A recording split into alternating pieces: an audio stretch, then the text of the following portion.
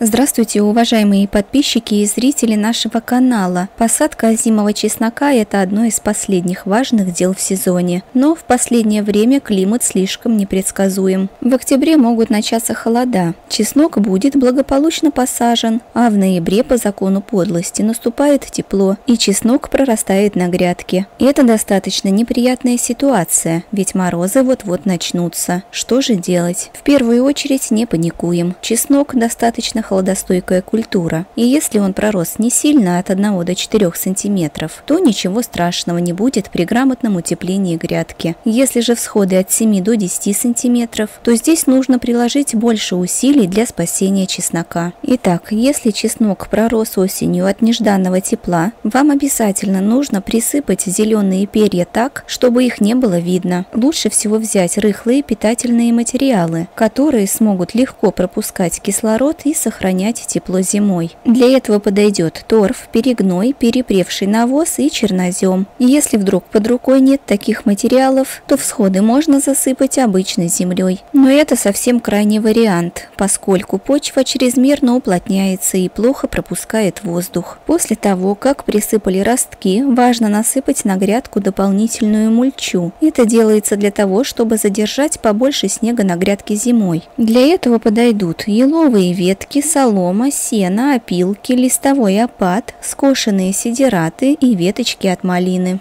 Следуйте советам и делитесь своими результатами в комментариях, а также не забудьте заглянуть в описание под видео. Там вы найдете ссылочки на лучшие садоводческие интернет-магазины. Всего вам доброго!